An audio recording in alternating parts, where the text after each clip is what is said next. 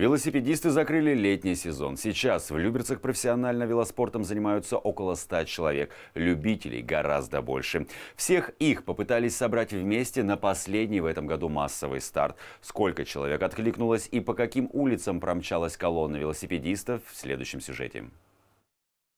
Редкий случай, когда известный люберецкий веломарафонец Алексей Курлыков пришел пешком. Травма не позволила сесть на любимое транспортное средство. Алексей повредил колено во время очередного марафона. На этот раз он смог доехать до Алтая, хотя планы были амбициозные – добраться минимум до Улан-Удэ.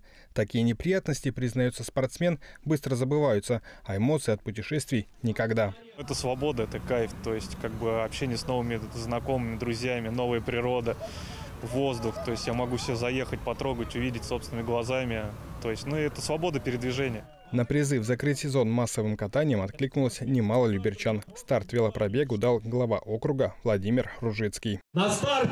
Внимание! Марш! Поехали! 10 километров от Центрального парка до станции метро Некрасовка и обратно через Комсомольский и Октябрьский проспекты. Этот путь на велосипеде занимает несколько часов, поэтому в администрации сейчас прорабатывается вопрос, как сделать передвижение велосипедистов быстрее, комфортнее и безопаснее. Мы ставим с собой задачу, э, вот все парковые зоны на территории городского округа, а это наши все поселки, и Малаховка, и Красково, Томилин, Октябрьский, и Люберцы, соединить единой велодорожной сетью. Повторяю, это не просто, но у нас такая задача стоит. Клуб любителей велопробегов насчитывает около 100 человек. Однако велосипед как средство передвижения выбирают тысячу люберчан. И с развитием сети велодорожек количество желающих крутить педали увеличится. Григорий Ворванин, Сергей Гвоздев, телеканал ЛРТ.